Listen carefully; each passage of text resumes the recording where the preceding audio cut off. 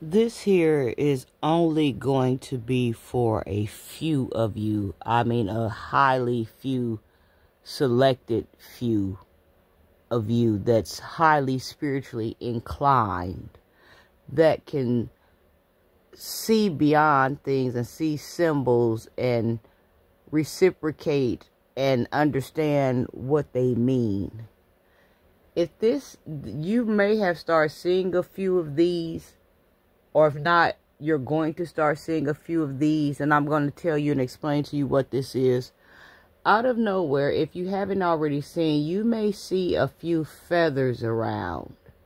Like a feather around your house or feather uh, in your lawn. And it'll be easy to see, like, out of your grass and leaves, like one feather or it could be a feather that comes off of a bird that flies towards you or something to do with a feather.